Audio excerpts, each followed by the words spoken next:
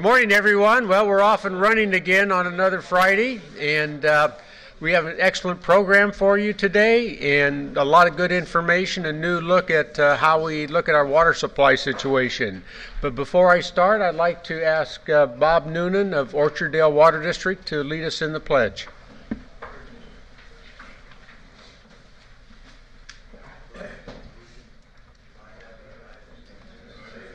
America.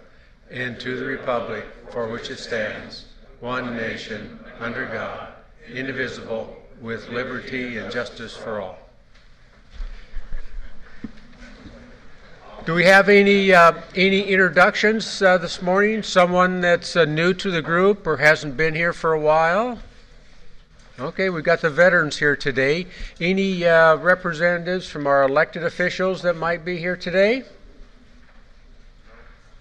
Okay, maybe they're all at the Urban uh, Water uh, Conference uh, this week. So, uh, pr- probably the key activity, uh, certainly the water supply situation that we're dealing with, and and probably the most uh, critical element is actions at the Metropolitan Water District on how much water we're going to have this summer. So, Brett Barbre, would you like to update us on the MWD activities? Thank you very much. I'm not Linda Ackerman, just in case you were uh, curious. Um, not sure where Linda is today. Um, but, you know, uh, Larry Dick's not here, Linda's not here, so Larry McKenney's not here, so what does that mean? I'm, I'm the ultimate pinch hitter. But uh, up at Metropolitan, um, probably the biggest issue that everyone in the water business is um, concerned about is uh, allocation and how much water we're going to have. And I can't tell you where we're going to end up. There are a lot of pieces to the equation that need to be plugged in. Uh, the first is the tolerance level of the amount of water the Met Board feels comfortable pulling out of storage. We have roughly 1.2 million acre feet of usable storage uh, that we can draw on this year. So that's going to be a component, whatever figure we end up with. What the state water allocation is going to be, and it was just bumped up to 20. Uh, we're expecting that it may end up 25 to 30 and then based on that, what is our projected usage, and then that'll become our allocation. So uh, that'll be hotly the issue of how much water we take out of storage. Uh, I expect will be hotly debated next week up at Met, and then look for a uh, decision at our April board meeting. Um, snowpack is not great throughout the state. You all have seen the reports. Uh, we're hoping to import some of the snow from the East Coast. My brother in Boston said he'd be more than happy to ship some to us. Um, so, other than that, on the Met agenda, uh, you, will notice one of the biggest components is our R&R and our updates uh, to the Colorado River Aqueduct. We spend a tremendous amount of money keeping that 70-year-old facility in pristine condition. Those of you that have been on the trips, you've seen how well maintained our facilities are and that's because we are very, very religious in how much money we spend and, and uh, continuously provide that. Uh, you juxtapose that with the State Water Project, and you know, we, we don't really need to go there. The, the, the final piece is uh, at the board, we'll be authorizing the, the final components of uh, the half a billion dollars that we've invested up at the Diemer plant uh, to get the ozonation up and running to do the, the final uh, landscaping. Uh, as you know, that area is, is, prone to fires, and so we um, have new regulations that we have to comply with, so we'll be uh, finalizing that this month. So, any of you have any questions? And how many of you knew that in February we had a complete shutdown of the Colorado River Aqueduct? Did any of you notice that? You didn't. So that's how well maintained, and that's how well the Met system plans uh, these things, and that's how well we work with MWDOC. So thank you very much.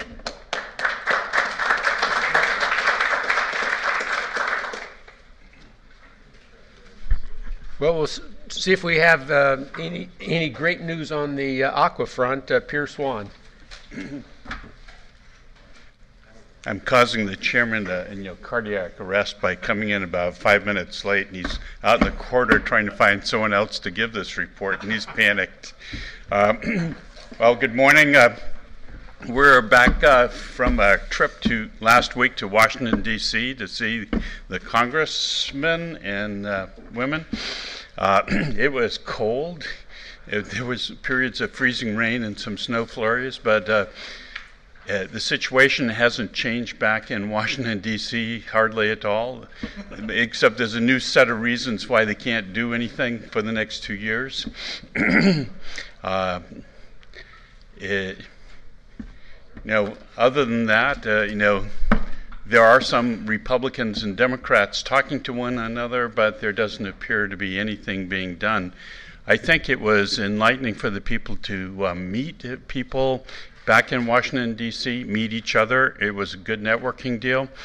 Uh, from the Orange County perspective, I want to thank uh, the Municipal Water District of Orange County and Brett Barbre for putting together a, you know, a function along with the Orange County Water District and a num- number of other people where we had uh, all the Orange County delegation, I think, Brett, came uh, to this and uh, appeared at the delegation. We had poster boards up there about projects that, you know, the districts were looking at uh, asking for federal money on, so it was a very productive uh, deal.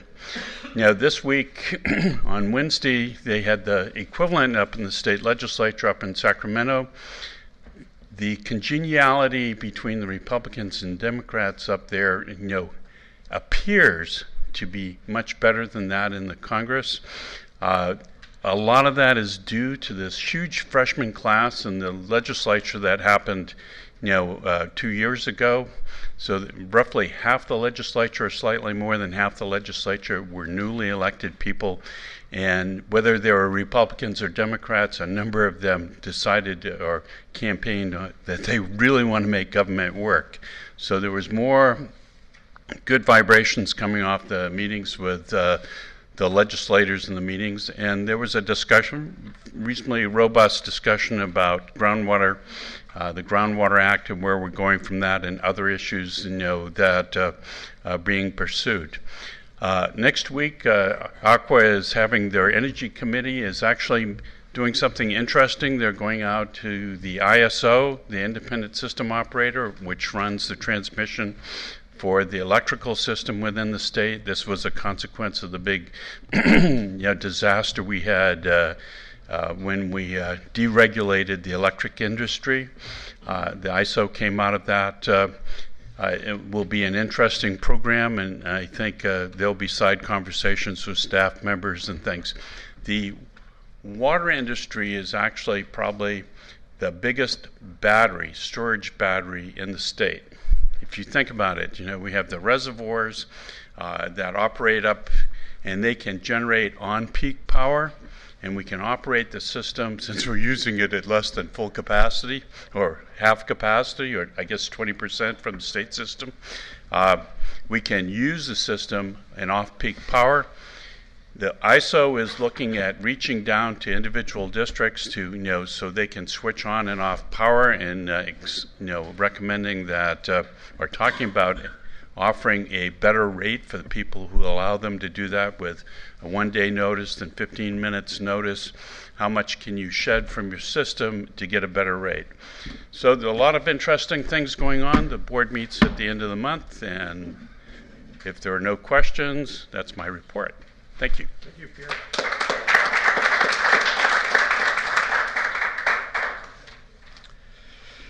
Okay, now we can jump into our program for the day. We've had many presentations in the past on uh, the uh, activities at JPL and and uh, and uh, and the Caltech on weather, weather sensing, uh, trying to get a different perspective on analyzing hydrologic features and so we're going to get an update on this uh, significant research and new perspective on uh, in trying to figure out how much water we have. And I'd like to introduce our, not introduce, but have our uh, uh WACO member Fred uh, come up and, and, and uh, he was instrumental in getting our speakers today, and he can introduce them and the program. It's all yours, Fred. Thank you, Don. Yeah, I'm Fred O'Callahan. Most of you have seen me around here. Uh, I'm, I'm, pleased to uh, introduce uh, two speakers uh, today, two atmospheric and uh, geology scientists. Uh, we're going to try and make uh, these talks, I would call it water centric, uh, to meet your interests and needs here. There's a lot of stuff going on in NASA and JPL that uh, is very exciting and is going to carry us well into the, in the century, and it's going to have impacts on water predictions and management and all that goes. So I, I'm I proposed to the system having a series of talks on these subjects, and here we are. We have uh, we have two uh, scientists here today. Uh, the first one I think most of you have met before, and that's uh, Dr. Michael Gunson. Uh, he got his PhD from Bristol University. JPL was very fortunate many many years ago now, uh, get, getting Mike to come from England here and to work for JPL. He and I have worked on two instruments together, which I was the project manager of very successfully. Four times we flew on the shuttle, and uh, there's an instrument now, a weather satellite that's flying uh, for the 13th year, still in service, going to be in service for many years to come. And so, uh, with that, Mike's going to talk today about uh, perspectives on the uh, tools and, and uh, equipment that's available uh, in the 21st century, uh, what's going on at JPL, and some updates on our, our latest missions that are going on. So, with that, uh, I'm going to introduce also, so I don't have too many jump ups here, our second speaker, uh, uh, Thomas Painter, who is a the principal investigator I think most of you know what a PI is. The PI is is the principal investigator on an instrument. Uh, he's manages it. He manages the science. He manages the operation. You know, sets forth the science team, etc. And he, uh, t- Tom, received his PhD from Santa Barbara University, California, Santa Barbara. He's been at JPL now, what, seven years? Five, Five years. Thank you and uh, he's the principal investigator on the Airborne Snow Observatory. It's a technique for measuring the amount of snow that's in the mountains and the amount of water that's going to come out of the, the snow. So it's of vital importance to us to be able to know about these things in advance. So with that, I'll get off of the podium here and uh, thank the speakers very much for coming. Two things from coming today this morning through the traffic from Pasadena, and two, giving up their holiday. This is uh, we have this rotating schedule. And turns out this is an RDO.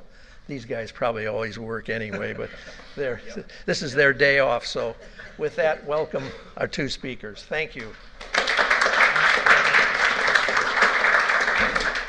Good morning, everybody. I'm going to try and make this presentation from my laptop because there's at least one animation in here which I'll be supremely disappointed with if we transfer and we don't get to use it.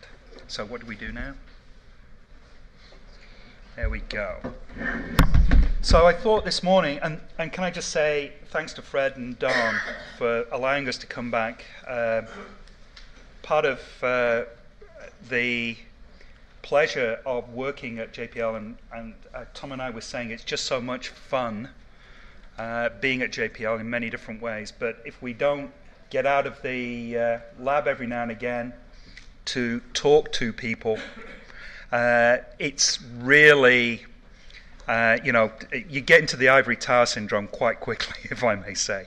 So this is a, an opportunity. Please, I hope we have time for you to come and ask us questions and uh, getting some engagement. There is nothing more important as a Californian as water resource management. Uh, here we are in this great state, and uh, I was talking to some other folks, which I'll introduce later in this talk, and there is nothing more important as Californians to look at what we know and, and the capabilities we have in NASA and at JPL in how we can help in these uh, conditions we're experiencing now, the drought conditions. What I'm going to try and do today, he said quickly, is give you a little update and leave plenty of time for Tom to come and talk to you about the Airborne Snow Observatory. I think that's one of the most uh, interesting developments over the past few years where our research and, cap- and capabilities have moved to a direct application in helping understand uh, water resources in California, if not the, uh, throughout the western United States. So, I, this image, by the way, is something I'm going to come back to in my talk. I, am just going to touch on about half a dozen different topics, so not a lot in great depth, but and probably reinforces messages that uh, you heard in the preamble. Um, uh, it's not a pretty situation. Um, I've mentioned this in the past, but NASA, uh, I think we're known at JPL perhaps for planetary exploration, or we're known for the uh, the two, the three rovers that, or the four rovers that have landed on Mars and given us such startling new insights into the red planet. But in the background, NASA has a huge Earth science research program, and there are something like, I think the number now has to go up to 19 operating satellite systems, with a number more planned for launch and deployment in the coming decades. Uh, and in particular, this past year has been something of a banner year for new satellite systems to go into orbit. And I'm going to give you a little personal remark at the beginning about what I've been doing for the past year with the Orbiting Carbon Observatory, which we were fortunate to be one of the five systems launched in this past 12 months. And that is my other day job, uh, being the Orbiting Carbon Observatory project scientist uh, in addition to trying helping in water resource management and other applications in the state. Uh, I'll come back to this figure, but um, we at JPL have uh, had two recent launches. Does this come up with? Okay. Um, the Orbiting Carbon Observatory uh, was in, was actually just to give you the timescales of how these ventures come about. Was first discussed as a kind of water cooler idea back in maybe 1999 uh, in a conversation between two colleagues over what if. It became a proposal concept in around about 2000, was submitted to NASA in 2002, and it was launched last year. And uh, it, the fact that Fred and I have worked on two projects together, and I've worked on four different instrument satellite projects at JPL, it, I've just been tremendously fortunate because on life cycles of a decade, you don't get to do that many times. You just just immense amount of uh, effort and patience in order to get to the final product of a system in space. So the orbiting carbon observatory was intended to me- is is today measuring carbon dioxide in the atmosphere around the world, and it's intended, as I'll make one or two quick remarks on, to help us understand uh, where and when carbon dioxide is drawn in by the biosphere, plants, uh, and or the ocean. And of course, in all of those systems, respiration puts carbon dioxide back in the atmosphere, and there's a big balance between when do plants draw it in, when do things uh, respire and put carbon dioxide back in the atmosphere, when does cold water absorb carbon dioxide into the ocean, and when does warm water lead to exsolution, uh, carbon dioxide coming out of a solution going back into the atmosphere. They're the two big uh, exchanges which we would like to understand far better with the backdrop that we as human beings need fossil fuels for energy and we're putting carbon dioxide steadily more and more into, into the air.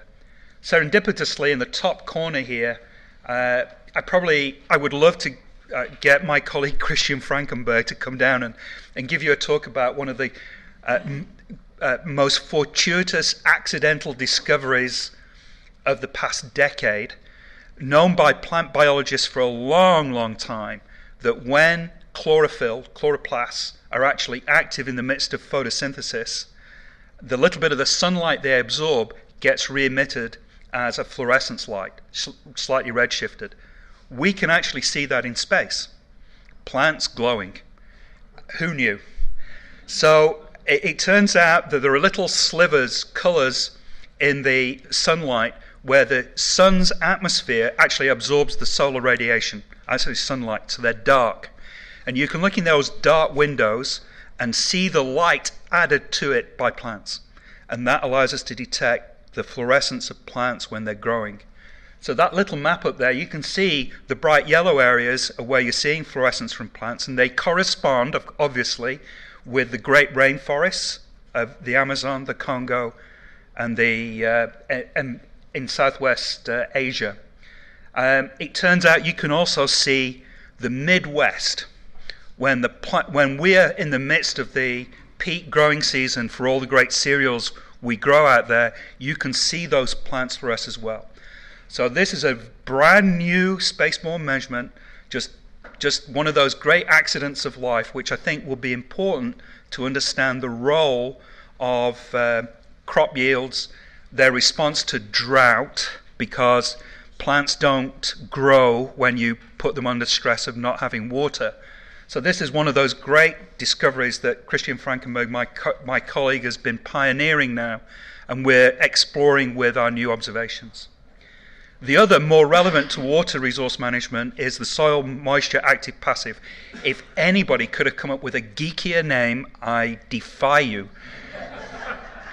It, it, it, got put in place when uh, the National Academy of Sciences did a report for NASA, NOAA, on the next decade of future missions, and they labeled, they tried to be agnostic in labeling all their recommendations with the geekiest names possible. And they labeled it SMAP, and it never changed. It was, uh, there was quite a discussion of whether we could give it something more catchy, but it's lived on as SMAP. It was launched on January 31st, and just last week on February 24th, they finally deployed not only the boom, but also this great, massive uh, six meter antenna and it's like one gigantic origami project gone wrong. well, gone right. and it and it managed to just it's just managed to be deployed. It now is spinning up. It may it, it rotates. I think it's 14 revs a minute, and it allows the uh, the passive and active systems, the at long wavelength, to scan and sweep the surface below them. It will be used to it, to to measure the moisture content of the top five centimeters of soil. There are many other applications, including when we're over the uh, north, you can detect the transition between the uh, between the freeze and the thaw period, and when that happens, uh, a great portion of the northern reaches start to uh, become active and start growing. So this is a, an important indicator of when those remote areas in Siberia, Alaska, North America, and Europe, the, the trees there, the great boreal forests, become start to grow. They go as soon as you switch that that make that switch between freezing and thawing, they start to grow, and there is a massive drawdown in the northern hemisphere due to that growth period, that drawdown in carbon dioxide. But it has obvious, obvious applications in understanding drought conditions and the availability of moisture in the top five centimeters of soil. Uh, I don't have anything more to say about that because the guys on that team are going to be busy for the next few months trying to make sure that everything's working and getting those kind of that kind of information out of that brand new satellite system. I've been here before to talk about uh, what it means after 12 years to get to a launch situation. And last July the 1st, uh, I persuaded uh, my wife and son to come with me out to uh, Lompoc to see the launch at 2:53 in the morning. It was about, yeah,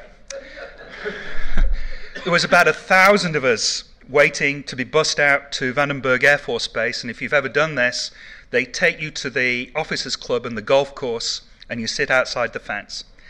256, 40 seconds before launch, one of the sprinkler systems, get this, sprinkler systems failed to engage. They use water spray to, as an acoustic suppression, and it failed to engage. And we didn't, we had to scrub the launch for that evening.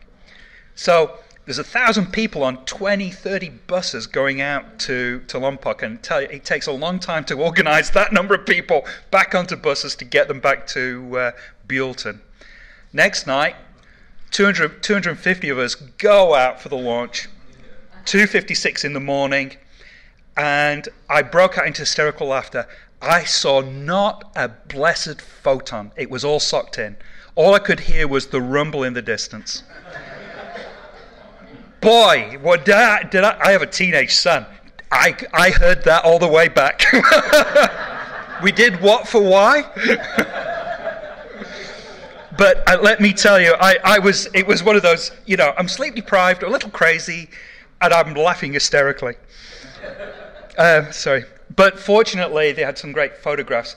The, peop- the smarter people, i.e., the nighttime, uh, there's a lot of amateur astronomers who go out taking photographs, were stationed above the marine layer and took some beautiful time lapse photographs. This is probably the best of the bunch because you can see the Milky Way in the background on this long exposure. And this is the uh, launch vehicle going off over the south. I, in the past, in the past, I've stayed at home in Pasadena, quite frankly, for any of these launches, because I know if I pop out, get out of bed at just the right time, pop outside, I can see the launch vehicle go over the horizon. It's a beautiful view. So I'm, I'm disinclined, disinclined now. How long was this photo? What was the duration of the photo? That looks to me like uh, I, I, I don't actually know, but I, I, I know that that's like five, five, ten minutes to get that far. It's a beautiful- You might mention that the polar orbiters that we, Yeah. that's why we have to go out of here. Not That's right. Uh, for safety reasons, you launch out of what we call the Western Test Range, which is the Vandenberg Air Force Base, because you're going to launch south over the ocean. If you're going into a, a, low, a different inclination orbit, you can go out of the Eastern Test Range at Kennedy Space Center and you go out over the Atlantic. So shuttle launches were always out at Kennedy. Everything else is launched on the west coast somewhere. Um, and for those, I, I, you probably don't know this, but um, we actually had an incarnation of this uh, satellite called the OCO. There's a good reason why there's an OCO 2, because when we launched the vehicle the first time, the fairing which encapsulates the, the system failed to separate. And it failed to achieve orbit and went swimming with the fishes somewhere in the South, South Pacific. So this time, we installed a camera. and uh, I can tell you, when we got that video back, there was a lot of relieved sighs around the whole project. But that's that's my this is my day job. I'm probably not going to spend uh, looking at the time. I'm, I want to give Tom all the time he can, but there's lots of good reasons why what we're trying to achieve is is really trying to understand why. Uh, only half of what we put in the atmosphere in terms of carbon dioxide, and it's increasing year by year. Those are the green bars. But on average, only half of it remains there. Those blue bars represent what is drawn out or taken in some, somewhere. We simply don't know enough about how the Earth works to understand what the future may look like under changing loads of carbon dioxide being put into the atmosphere. So, one of the objectives, you know, a lot of people ask me, is this to look at what we do as human beings? Not quite. The real question's about how does the Earth respond? Why does carbon dioxide so variable in the amount that's drawn in by the land biosphere or the oceans? And the big suspects, quite frankly, are very obvious. It's drought impact and water availability in the Great Rainforest is the current best theory. So that's something of that's my day job. Um, We've got our first data out. It's a tremendous. Um, this was a video, and I couldn't find the original to make it just spin on its top and look all magical. It turned out the first data we got, just to remark, is in October. It is boring as all get out. It is the time of year when the difference between the northern hemisphere and the southern hemisphere is, is practically zero. Because that's the point of the year where, after the summer change when all the plants are drawing in carbon dioxide, you're now into the post you're into the period where that's stopped and respiration and human emissions in the north where most of us live are picked up again and the carbon dioxide levels are rising to the point where they match what's in the south. In the south, fewer human beings, less signals from the biosphere. So it's generally a smoother, less varying amount of carbon dioxide. It is as boring as all get out. So I'm excited to look at what happens in May and June when you start to see this immense signal of carbon dioxide being taken up by plants in the north. I, I talked about this, I won't go there. So, of all of the satellites that NASA has, this identifies those which are actually part of the studies of the water cycle. Uh, it, it, we can touch on aspects of um, snow, snowfall, precipitation as rain, to cloud cover, the various aspects of the ocean, evaporation, uh, all the elements I can think of in the in the water cycle. The challenge for us as scientists is that this was driven by research needs. And where we are today, I think, is recognizing that I, have said this and it's very trite, but I think uh, as a scientist, I am pretty confident the answer about climate change hasn't changed very much since Svante Augustus Arrhenius in 1896 said that you'll get about a 3 to 4 degree centigrade warming by doubling carbon dioxide. All the technology in the world, big computers, have only refined that number. They have not changed it one iota. So, my, where we are today, I think, is that we're in a, a period where probably NASA, everybody, we're transitioning from not what we know as a research topic, but in terms of understanding and applications. How does this help us in the challenges before us in, in water resource management globally, globally, not just here in the West, and food security? That's where I personally think the rubber hits the road. So, of this, um, as an example of, of the challenge and ongoing discourse, we're very, very fortunate on Wednesday to host uh, uh, Secretary uh, Karen Ross and Secretary Anna Cal- Caballero from uh, uh, from Sacramento. Their Secretary Karen Ross is the for Agriculture and Food. Secretary Anna Caballero, I've got this right, is Business, Opportunity and Consumer Affairs. The Daniel Burt from California Office of Emergency Management Services, uh, the Seismic Commission, and we had what are the necessary conversations about where are the challenges in the state and where can we help. Um, this is the reason why I'm always happy to come and talk about this because among you are the requirements of what we need to know to help in different aspects of managing water, food security, etc. It's absolutely essential for that dialogue to occur. So, now, back to what I would call recent news. I found this just the other day. I'd, I'd seen last winter's comparison between 2013 2014. On the left here are a pair of images taken by the NASA NOAA orbiting platform. So it's now named Suomi after Vern Suomi, one of the great scientists. And you can see a couple of things immediately. You can see the comparison from 2002 2015, February 1st, January 31st, roughly the same time of year, the, the Central Valley is distinctly greener. And that's because we've had so much rain in December. So, in actual fact, the valley is much greener, uh, you know, California is much greener this year, at this time of year, than preceding years. But I, I, I don't want to do what you'd have to do, which is do cloud filtering off these images. Uh, but um, by eye, I would say there's quite a little bit less snow in the Sierras than there was last year. And Tom's going to speak at that, speak to that in more detail with recent data he's acquired this winter. Now, the other component of this I thought was worth remarking on is just to bring you up to date on what sea level um, measurements from Jason have revealed. And I just want to remind you with this one image that this is 2010 when we had our last El Nino.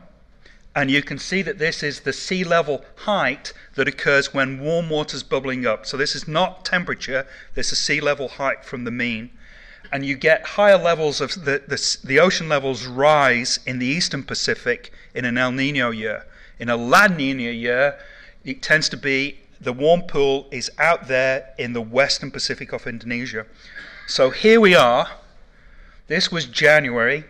Uh, these are monthly composites that, that, are available on the web. And this is February.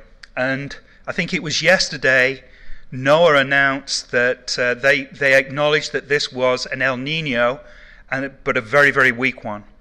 And we, you know, if our expectation was that an El Nino year would be associated with significant changes in precipitation patterns in the West, I'll let you decide what your interpretation of the situation is. It just hasn't happened. Ironically, the cold weather that uh, was referred to earlier about the snow, it's anecdotally when we have big El Nino years where we get, you know, one of the weather patterns that seems to locate is the jet stream tends to bring uh, uh, increased cold snow weather patterns to the northeast of uh, the United States, and because I have to call home now and again, uh, to the UK as well. And I can confirm both. So even though we haven't had a change in wet weather, there are typical El Nino like conditions manifesting themselves around the globe, except here. Okay, um, I believe uh, I, I, thought I'd include this because uh, Jay Famiglietti, who is now at JPL, gave a little update to the secretaries earlier this year, uh, earlier this week on, on Wednesday, and I thought he pro- produced an interesting set of observations from um, inferred from these these satellites, the Gravity uh, Recovery and Climate Experiment GRACE, which is a pair of satellites that, as they orbit the Earth, they track the relative position relative to each other. And when the mass of water underneath increases or decreases, their position changes because the, the, the mass draw of gravity changes and their position uh, changes very slightly. It's allowed people like Jay to do some remarkable things, and I'm not going to, we're fortunate. Ah, you see, this is why you have to do it from your laptop. You can actually have an animation. And this is a time series since the beginning of uh, the Grace mission of changes in the gravity, the mass total in California. And you can see it tracking from 2002 to, the present day, close to it. And you can see that when it's changed to a deep red, that is a reduction in the mass underneath, uh, underneath the satellites. This is total. So it, you're seeing a change of not just surface water, but subsurface water as well. Uh, we're asked this question. It's like a, it's every molecule of water that changes the total mass under, underneath you is largely responsible for that. So this then leads to the conversation about, and this is now an estimate of the change in that signal, but plotted as a function of time. And it's and it really what we're trying to draw your attention to is the seasonal oscillations, i.e., wet winter recharge and increase in surface water and recharge of the aquifers. But we've been in a couple of uh, drought cycles, and you can see that, relatively speaking, we're now we've seen a continued decline in the mass in the Central Valley, and that's because of uh, continued drafting of aquifer water to tide us over through these drought periods, and you, it's significant. That is 40 odd square kilometers of water. It's a huge amount of water that's been displaced, used, and drawn out of the ground and not replenished. So th- this was just to put a color code to it. I probably won't draw on that. Oh, so w- something new I hadn't seen from Jay was this plot, and I'll try and explain it. And the top is that variation. He's now tried to take the seasonal variation, the mean seasonal variation out of it, so you can look at the deficit and estimate what is that in terms of water. And you can see we're trending. Increasingly, our deficit in what we've withdrawn is increasing with time. And um, I, I'm, I'm kind of worried that we're entering into an even more difficult year right now. Uh, with this is another activity that Tom Farr has been uh, leading in terms of using satellite radar data to look at changes in surface deformation. So you can measure very, very accurately changes in the surface position by repeated overflights with the radar system. And I've shown this before to you, but this is actually six months of last year. And you can see the scale on the top there between um, one or two inches up all the way to depression, uh, sorry, one or two inches down all the way to deformation over six months of nearly one foot. And you can see that is just another evidence of the continuing effects of relying and drafting groundwater. Uh, you, there's always going to be a price to pay. Uh, and it goes through regions where we are planning to either build significant infrastructure like the high speed tra- rail or it comes close to the, um, the California aqueduct. So I, I, I, want to close here because I want to give Tom plenty of time. Um, we have been working hard to identify those areas in the future water availability where we can use our capabilities. Uh, we won't stop looking at what we can actually do. Um, Tom's going to describe much, much more of that top left uh, portion there about our snowpack. But we've been working to look at ways of understanding the Bay Delta. Uh, we've had various interactions with MWD and other uh, finding people with the right pockets with money to actually fund these activities because we're soft money people. We're not. We we we don't. We're Caltech employees, and we have to write proposals to gain funding. Uh, we're looking at ET, groundwater storage, um, integration of modeling prediction. Uh, I think there's two kind of challenges. Just to before I close, I think there's the challenge of understanding what water you have, and the biggest challenge is getting a good prediction for the next rainy season. Uh, and uh, previously, Duane Waliser has been here to talk about atmospheric rivers. It's a huge challenge to figure out what the likelihood are with some certainty on how many big precipitation events per season we're going to get. Because that's going to help understand not what we do this year, which I know MWD probably feels pretty comfortable about for, for, for, the, for the region, but what does it mean if you don't know what's going to happen, not this winter, but next winter, and what's going to happen the, the, the, the dry season after? So, with that, um, we're working hard to uh, really improve our, uh, get our capabilities to applications. Uh, I really appreciate the, uh, you know, the opportunity to come and speak to you today, but in the words of Monty Python, and now for something completely different and my good colleague, Tom Painter.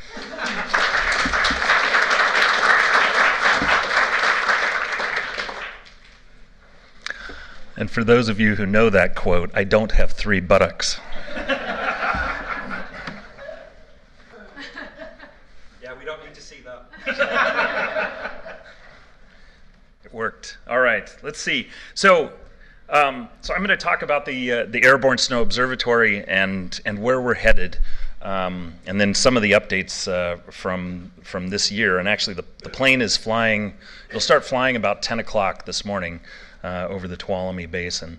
Um, and so, I'm frequently asked, "Are, are you planning on killing off the uh, the snow courses and the snow pillow?" Uh, team, or that's Frank you planning on killing off Frank? No, we want to keep Frank. Um, and we also want to keep the snow courses. And they, these are really critical to, uh, to this program. Uh, to, to actually know what's going on on the ground and, and also being able to help us with uh, constraint on, on density retrievals. So I'm just going to talk quickly about what controls snowmelt. Um, uh, obviously, knowing snow water equivalent is really important, but also knowing how quickly it comes out of the mountains uh, is is key in managing that uh, that most critical resource. So, let's see. Do you need me to stand here? Yes. I can't move. Okay, good. Thank you. So because I'm plenty loud. Um, so, so this is five days of energy balance measurements uh, at one of our towers in, in Colorado, the Uncompahgre Basin. And the black trace here, and it's really warm days, uh, so, so there should be lots of energy coming from the atmosphere. The black trace is the net flux. That's the amount of energy that goes to melting snow. Okay, so obviously, middle of the day, you get a lot of uh, energy from the sun, and also things are warming up. Well, the red trace is the net solar radiation. That's how much energy is absorbed by the snowpack. Well, they almost lie atop one another. And these others are the various components that are related to temperature. Uh, the sensible heating, which is just how much you feel of the, the warmth of the atmosphere, And then the long wave uh, is the uh, this red trace, right? And that's the emission by the atmosphere down to the surface, and then the surface re-emitting that balance. It turns out with a snowpack, that's always negative, because there's a lot of mass of snow, and a melting snowpack pumps out almost all the radiation that it possibly can. So, so the rest of these components pretty much balance out, and the big driver is how much sunlight is absorbed by the snowpack. Now, how does that play out? So this is a uh, this is from a paper that we're just submitting right now, and it's looking at uh, four rivers coming out of the, uh, the Colorado River Basin, and their the sensitivity of their rising limb. So how quickly does the river start to uh, to rise in the spring to peak? So each of these is a is a hydrograph up to its peak, and um, and what we have on the left is color coding of the traces from the onset of melt to the, to the peak.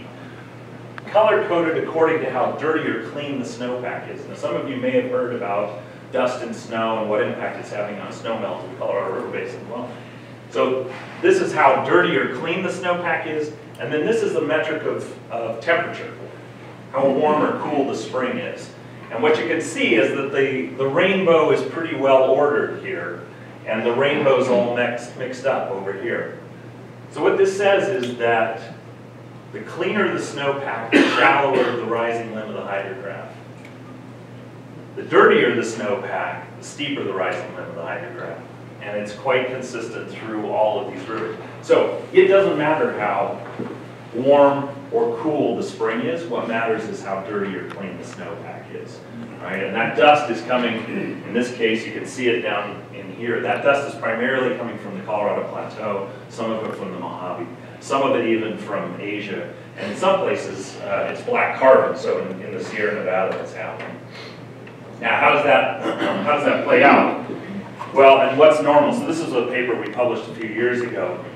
Starting in about the 1850s, when we started inhabiting the interior of the western U.S., there were cryptobiotic soils, uh, desert pavements, et cetera, that we broke through with largely with sheep, uh, to a lesser degree with, uh, with cattle. And then there are a lot of people that like to think that the roads out in the deserts are contributing to huge dust signals, but that's simply not the case because they just, they're very skinny, they don't produce much dust.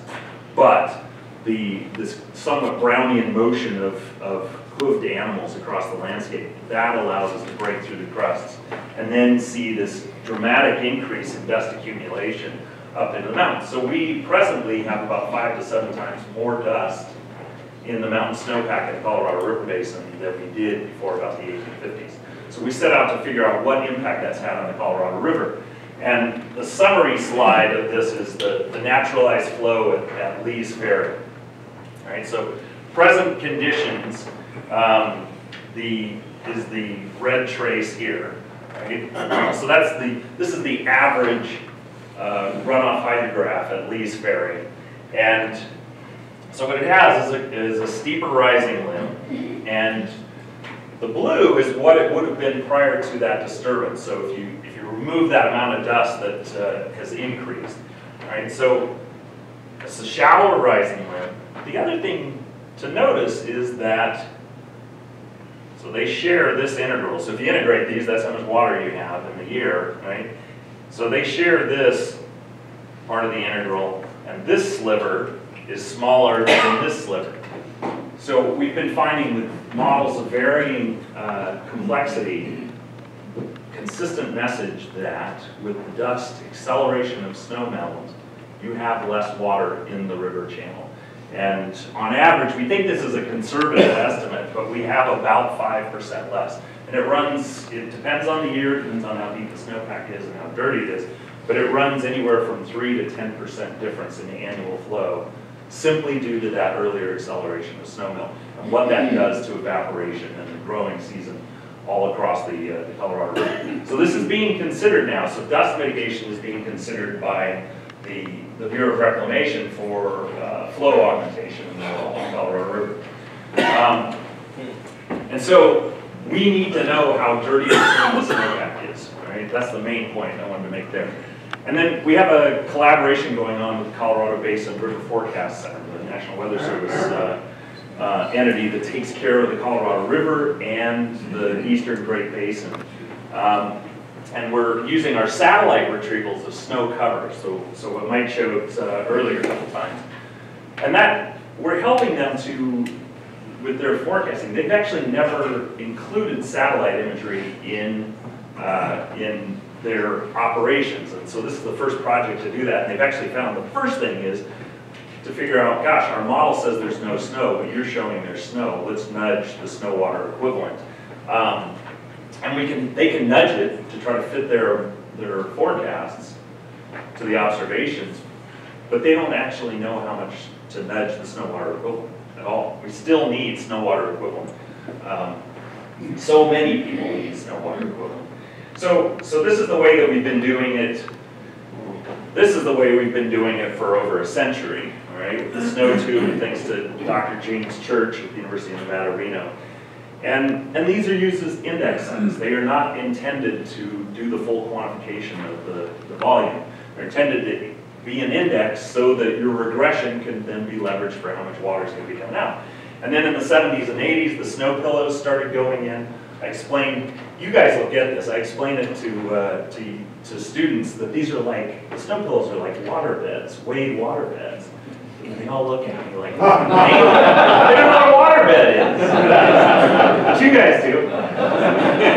All right, so, so this is the way, with those, these, each of these red dots that shows up, and there's one in the E up there, all right, each of these red dots is either a snow course or a snow pillow in the Tuolumne River Basin. And each one of them, their area represented is magnified by 3,600 times in this basin, all right? It's about, it's about 460 square miles.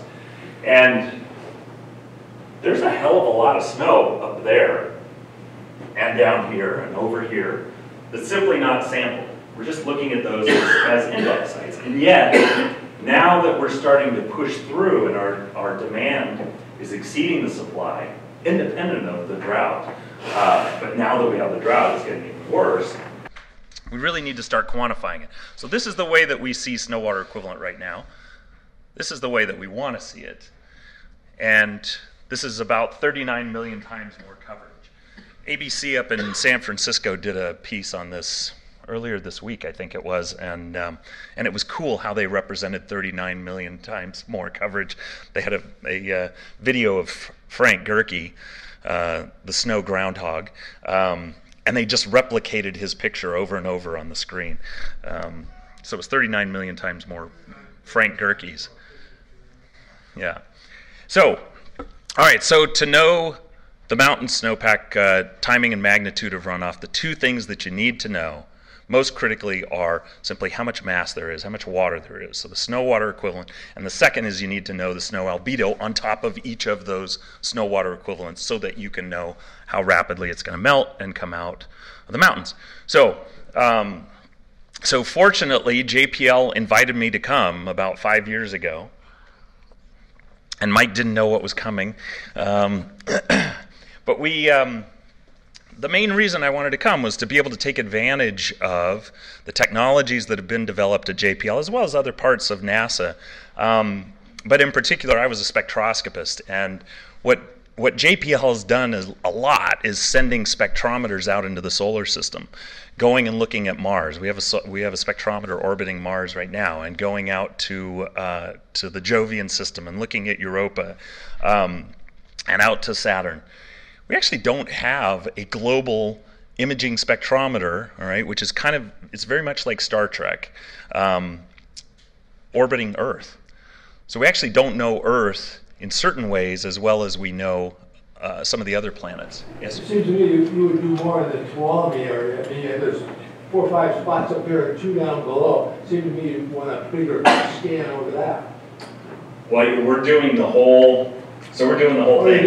Oh yeah, I'll show you. Yeah, so that whole, that map that we showed was from, was from ASL.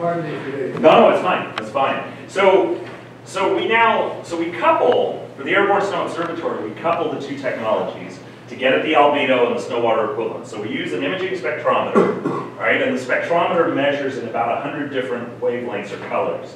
And the reason we want to do that is that in different parts of the solar spectrum, there's indications of absorption by different things. So as snow grains get bigger, that absorbs more sunlight, that accelerates melt. Well, that's expressed in the near-infrared wavelengths. If dust and black carbon are deposited on the surface, well, we can actually see those, so that's primarily in the visible wavelengths. But the more concentrated they get, it creeps out into the near-infrared. All right, and being able to quantify that and really have a good handle on the perturbation to snowmelt rates requires that you understand what those changes are and then what the processes are. So mitigation by the Bureau of Reclamation can only be done, they can only understand the efficacy of that if they're measuring it and knowing that there's actually a change and it's not simply been some hydrologic or, or meteorologic phenomenon.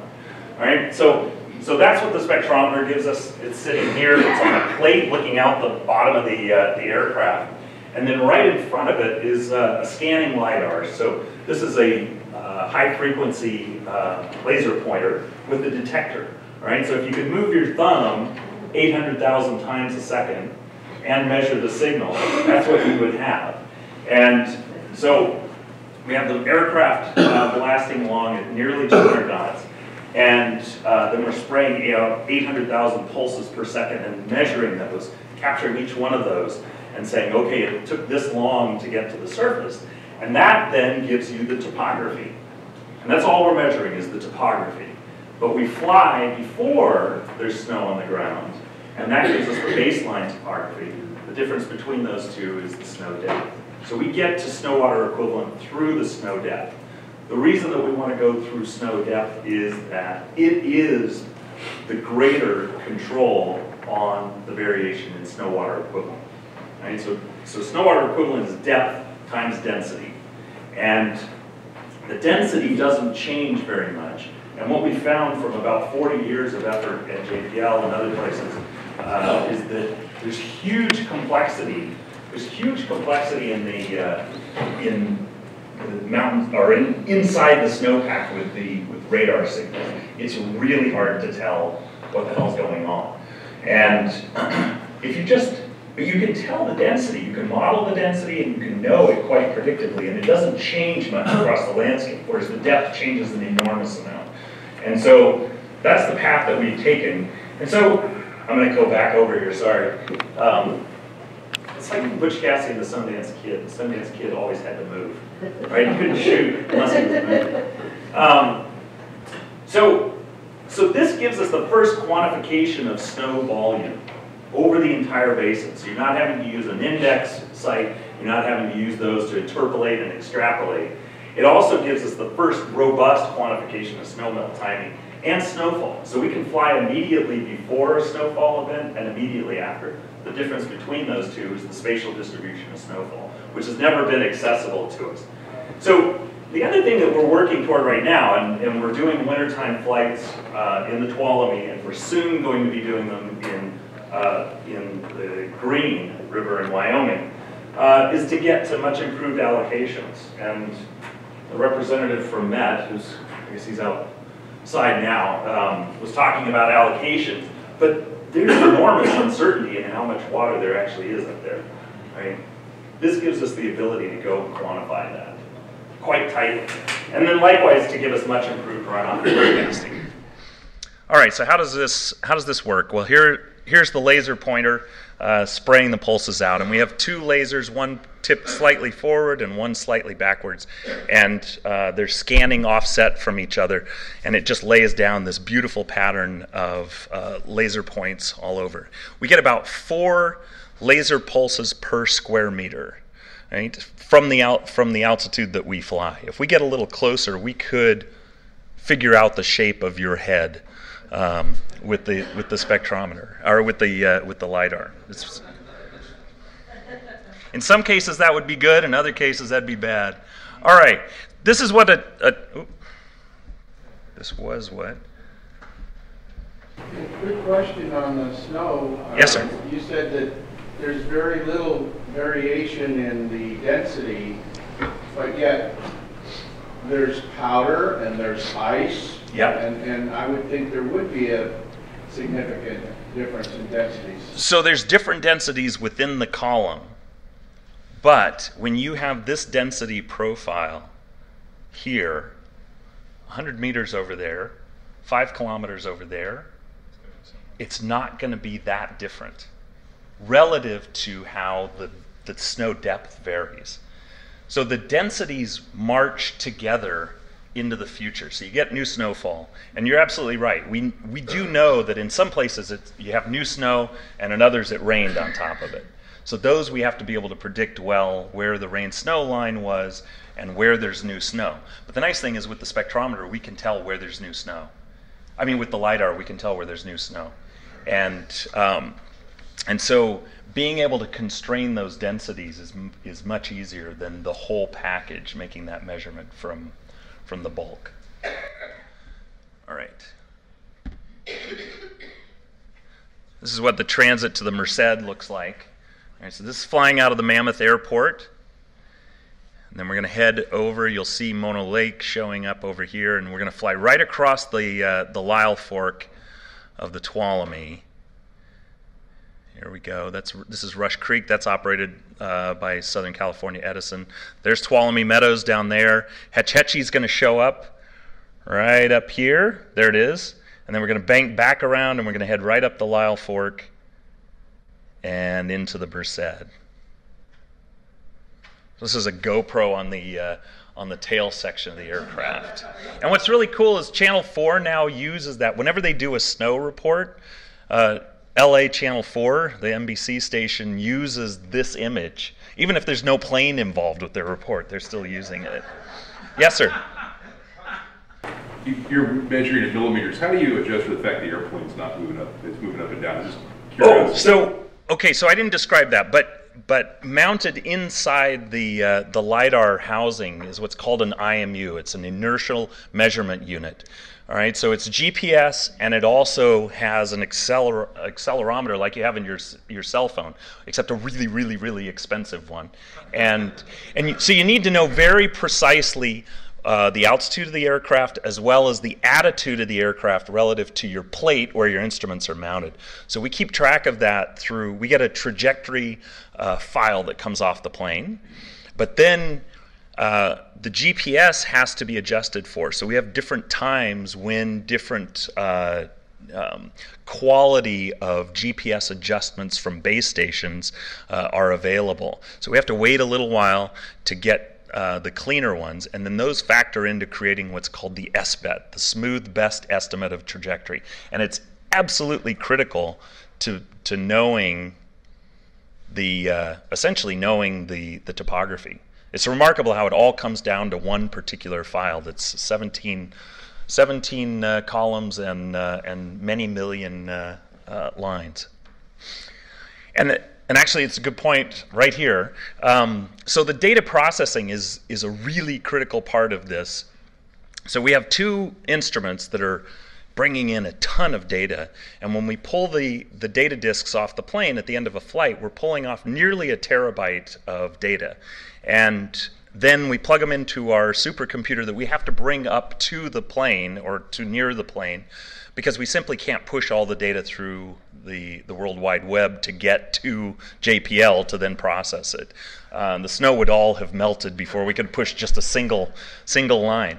Um, but I, I gave my team the direction when before we even started this that we are by God going to crank out the products in less than 24 hours so that this is relevant for water managers. Because otherwise it's purely research right? There's no operational capacity if you're giving them information a few months later. And um, and several of the team who have been involved with other activities like this rolled their eyes joked with each other, and then some of them even told me straight up that I was insane, and um, which made me worried because uh, I was relying on them. But uh, but then I kept a straight face and kept pushing, and and then we ended up doing it, and we're down to about 20 hour turnaround of that processing, and some of it's the wait for the GPS uh, station data um, to to be able to do that very precise correction. All right, so. Um, so at any rate, yeah, less than 24 hour turnaround on those uh, on those products. And that really makes it then accessible for the, the operational world. So this is what some of the data look like. This is uh, purely ASO data. The topography, this is looking at the Lyell and uh, McClure glaciers, uh, the highest point in Yosemite National Park. Um, and the topography comes from the LIDAR, and then the color composite comes from the spectrometer. It's draped on there. You might see the tinge of dust down, down low. This is the broadband albedo, the reflectivity, and, uh, and giving us an idea of how much sunlight is being absorbed. And where that tinge of dust was, you can also see that it, the albedos drop down to about 50%, 40%. So about 50 to 60% absorption of sunlight relative to the cleaner snow, which is up high on the, the, the Lyell Glacier, which has a reflectivity of about 80%, so only an absorption of about 20% of the in, incoming sunlight. All right, that's why glaciers generally form on north facing slopes. Right? the combination of not much sunlight coming in, and with not much sunlight coming in, then the albedo remains high so that when the sun does come in, uh, it, it still is reflecting that back to space.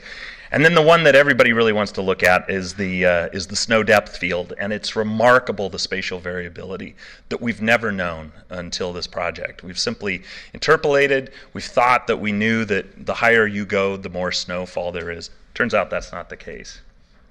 All right, let's see if these work. Uh, these are paired videos of snow water equivalent and uh, snow albedo across the entire basin. Yeah, okay, they're going to work. And this is starting last year, March 23rd. There was the peak. And here we go.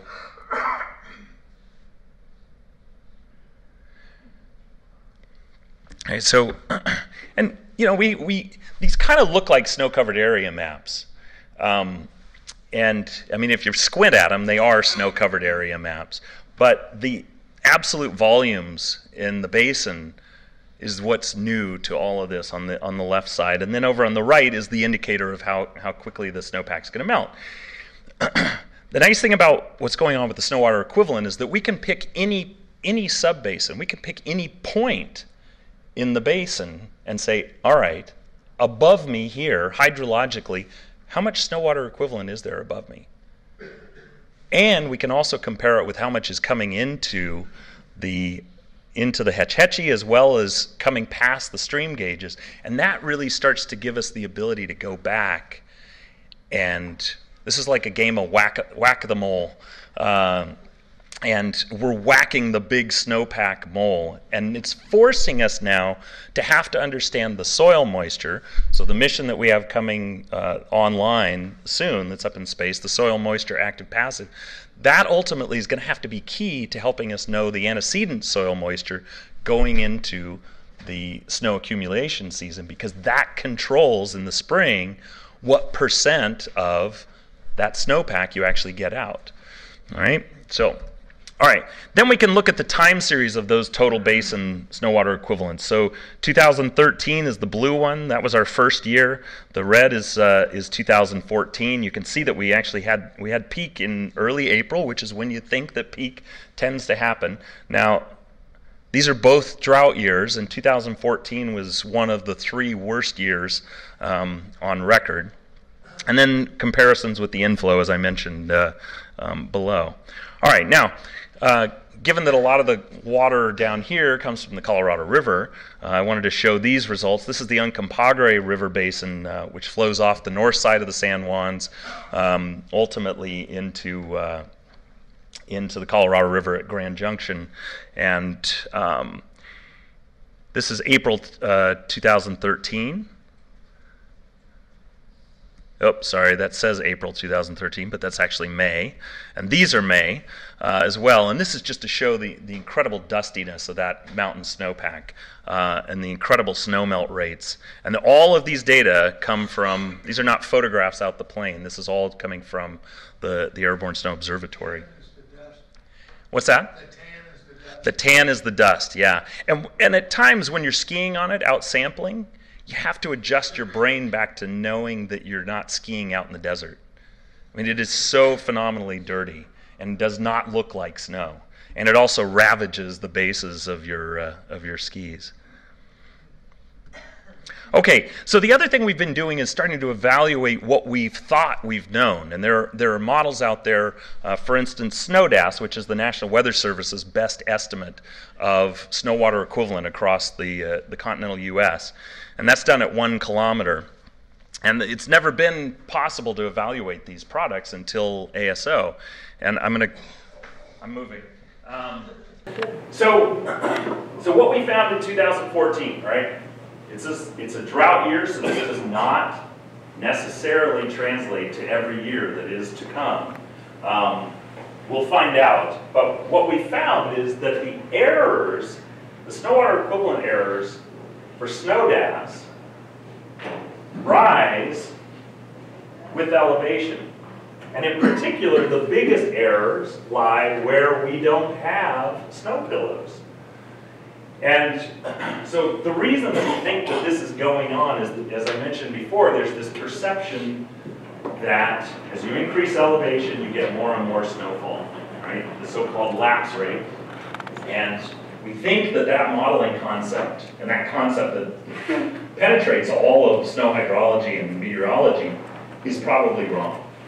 And so this is this is really the appearing to be the first big dis scientific discovery by the Airborne Snow Observatory is that there's this kink in the accumulation of snow in the mountains, and that for sure it increases for a while, and then it tends to plateau.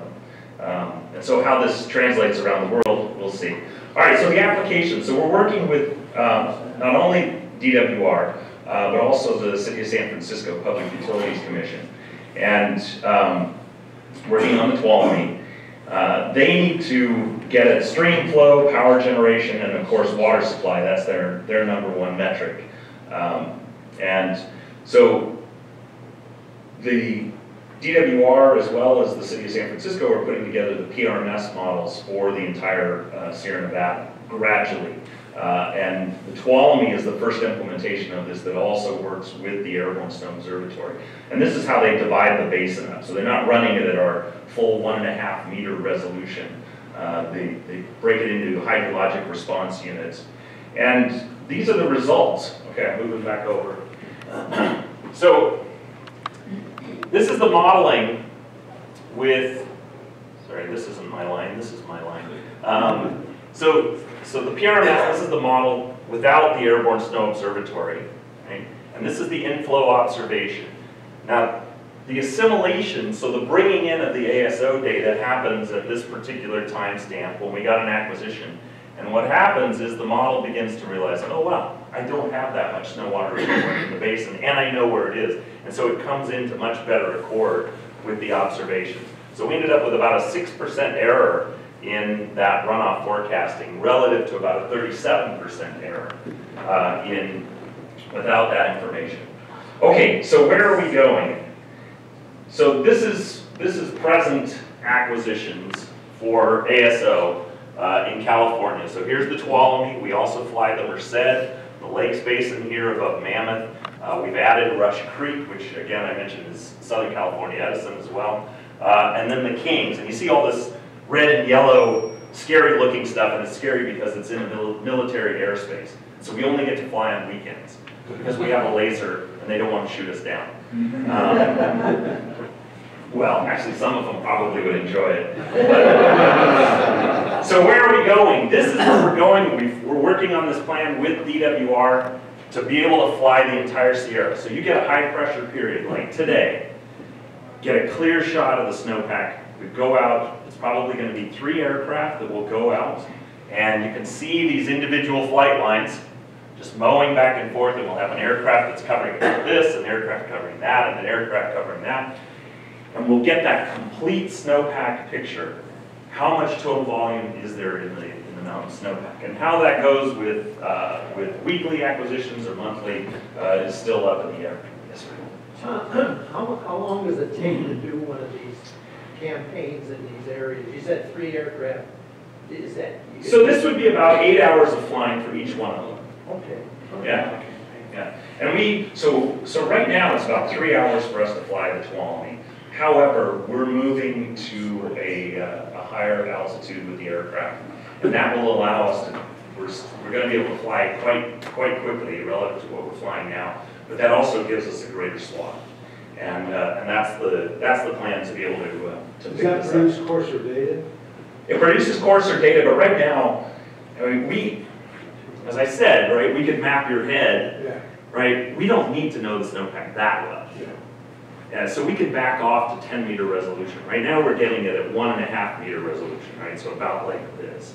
And it's, it's really cool, it's, it's fantastic for the scientists to, to understand. But we can back away to ten meters quite easily and get the kind of values that, uh, that we're after. Thirty meter, when's that? 30 meter potentially, the, this, so the, the cutoff for the spatial variability in snow, snow properties is around 30 to 40 meters, as we've understood it.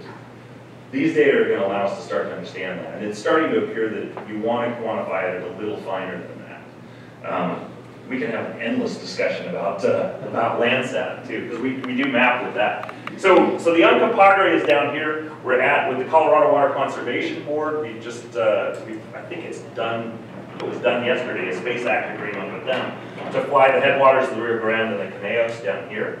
Uh, we also fly the Grand Mesa, uh, which is where, um, the Colorado Water Conservation Board and Met work together on methods for, um, cloud seeding.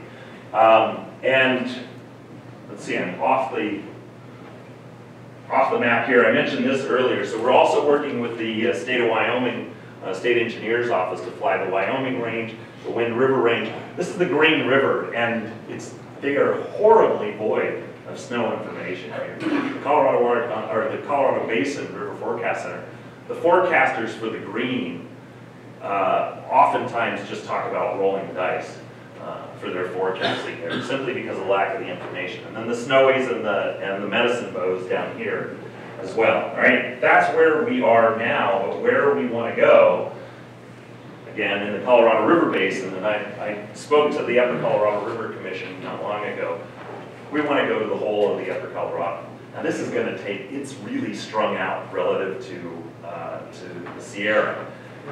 So, um, but the fact that California has great interest in the Colorado River means that potentially we could share those three aircraft that are for the Sierra. They get their snapshot, migrate into the, uh, into the upper Colorado, supplemented by a couple of other aircraft, and then we can do the full quantification. And of course, as the, as the snow melt advances, then you need fewer, fewer, um, aircraft. All right, I think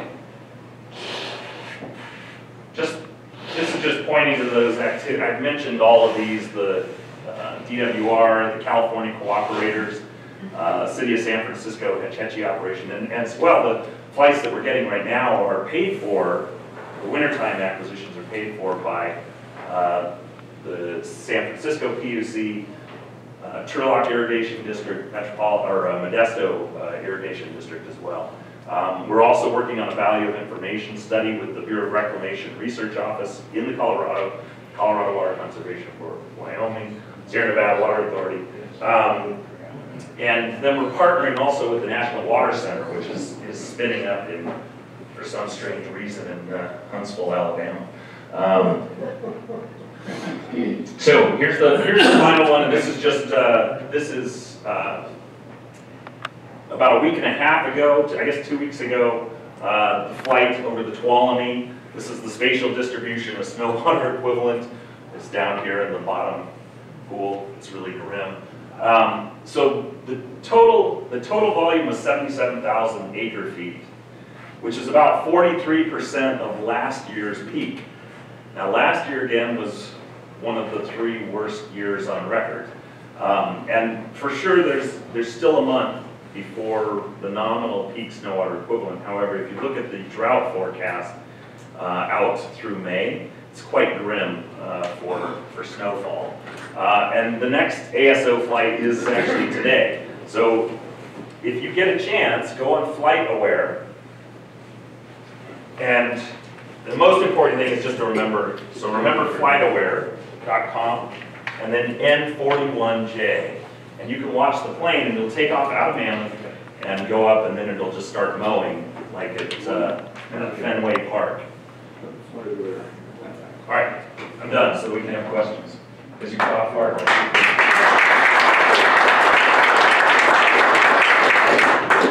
uh, put you on the spot. Director Barbre from Metropolitan, Metropolitan, to talk about Metropolitan going into allocation. And one of the big uh, uncertainties is how much to draw down Diamond Valley. Okay. Not, and I guess there's some difference of opinion, maybe a little bit this year, because they don't know what's gonna happen next year. So with your great presentation and understanding and and maybe some bad, or some uh, troubling uh, projections that you alluded to, what would be your take on how much Met should draw down Diamond Valley? Not necessarily in the fees, but recognizing your assessment is what the water supply will be next. So, so my, okay, so my my take on process is they should invest in a genie, um, a really good one. Um, so, yeah, so, but this lets us know what's there right now. And as one one of the cooperators put us put it to us uh, back in November at the cooperators meeting, essentially you guys are building new reservoirs by flying this without having to go through through an EIS, right? I mean, we it's taking a bunch of the hedging out of the process by being able to quantify the mountain snowpack. That said, we don't know how much snowfall there's there's going to be, but it does give you baselines on where you actually are right now, as opposed to the great uncertainty in in where you're at. Right? As they as they say, you can't manage what you don't measure. You can't manage your pocketbook if you don't know how much money you have, and uh, and and now we're actually making the full that full quantification. And it's going to it's going to take a while before we actually can go from total volume to knowing exactly how much water is going to be coming out. And what are the sensitivities? How sensitive is it to the soil moisture the antecedent soil moisture? Uh, how sensitive is it to the last few years of soil moisture? How sensitive is the sublimation? And this gives us access to sublimation like we've never had either. Yes, sir. What you said is true, except, you know, it's like, you know, it's like building new reservoirs. If you could change the storage curves that the Corps uses on the storage reservoirs below. And what we have to, because right now, there's a, there's a book that says if it's April 1st, you know, the elevation, the elevation of that reservoir has got to be this based on 50 years of data and assuming that the person who's running the gates had a third grade education. So if you can change the storage curves, you don't dump out all this water, you know, because you know how much water is going to be up in the headwaters, uh, and you can adjust the storage curve based on the moisture that you're seeing and, and what the weather forecast is. And by, by doing that with existing reservoirs, you can save a whole lot more water without building any more reservoirs. Right, right. Yeah, so on average, they do pretty well, right? But year to year, they don't do so well. And those uncertainties are the ones, that's what we're really trying to chase, chase down is the excursions and and which cost a lot of money and they cost a lot of resource and they affect a lot of people. They affect farmers, they affect municipal use, and right people people live in the in the day to day. They don't live in in 30 year calibration periods, and so we dumped about 700,000 feet of water to the ocean in January and February of 2013, based on the largely on storage curves. And if we had this accepted by the court and other people, we would have saved, you know, six or seven hundred thousand feet of water. We'd be in different shape today than we are. Uh, how how are we doing getting that change in the storage curves? You know, are you in, working with the Corps and other people? so the Corps, the Corps is watching this, uh, and one of my one of my projects is with the uh, the Army Corps Cold Regions Lab, Um, and we've actually not had specific discussions yet with the Corps out here, um, but it's it's a process that we're going through. We're talking with everybody, uh, and we're being invited by a lot of people, and um, it really, I think, there are only a few of us. And fortunately, NASA uh, has directed funding to us uh, for a planning year right now, heading into a five year Center for Snow, Water, and Availability.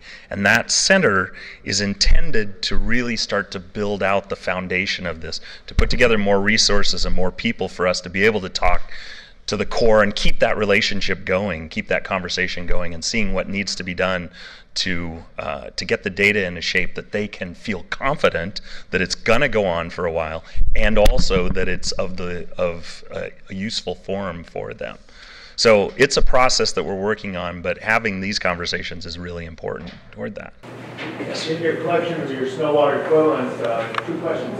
Uh, using the LiDAR, yeah. California has a lot of control density, survey control density for your GPS and so on. Right. How about that Colorado basin? That's pretty standard. Yeah, well, so the so the Uncompahgre has uh, three snow pillows uh, in it, and but it doesn't have many uh, snow courses. So we the way that we do this is we we model the spatial distribution of snow density, and we constrain it by those measurements. So we make sure that we lock those in, and that's ongoing uh, research for us, just with intensive surveys, graduate students and postdocs out digging snow pits and uh, and measuring density. The other part of the question is how long does it take to uh, uh, digest all that data? more than 20 hours for that big flight of uh, California and Colorado. Well, so so the way that you deal with it is by putting together more supercomputing. And uh, and the, the nice thing is that it is scalable, so it doesn't it doesn't run exponentially. Uh, you you can throw more CPUs at it and and keep it down below 20 hours.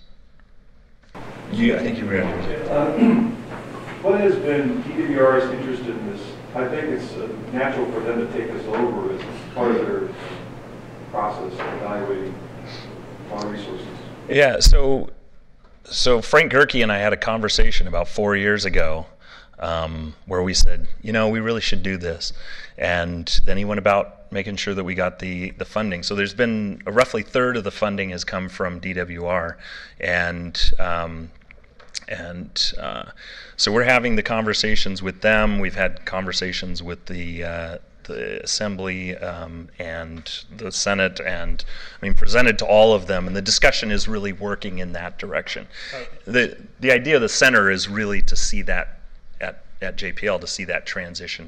Respecting the time, I'm, I'm going to just make one comment. One of the challenges is that, as you well know, uh, water resource management in the state or anywhere in the West is highly fragmented.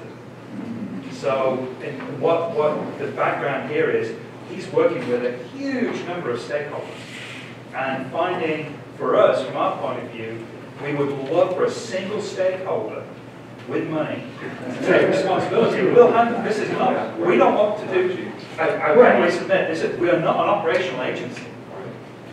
We want to hand this over at some point. And that's where the, the cooperators idea. So the, there's the cooperators program, and the and the various entities contribute either their data or funding to DWR to operate that program for the the snow water equivalent in the Sierra, and and that's one of the things that we're discussing is essentially to go that path. So DWR would facilitate this uh, this program, and and again we would make the data freely available uh, to the whole world. Because there's that synergy between those observations, which are operational, and the science. The science has relied on those measurements very heavily, and they're critical to then being able to bring the science back to the operations. Rick, final question? Um, yeah, it, it, was more or less answered, but it seems that with the mutual respect that all these scientists have together at JPL, you know, how are you going to blend, say, the GRACE project with ASO, with all the other things to come to a, so, collaborative effort regionally? So we've, uh, we have undertaken this year from our own investment budget to start a three-year project to do exactly that, is to work on an integrated, uh, California-centric at the outset, uh, water information system uh, that ties together many different pieces of information and data sources to come up with usable uh, information products. So, uh, well, that's why Jay Famiglietti is at JPL now. Uh, its contributions from Tom, the whole team of hydrologists we have, are putting together an integrated system that would provide a, a point of information across California. So we'll see it in three years?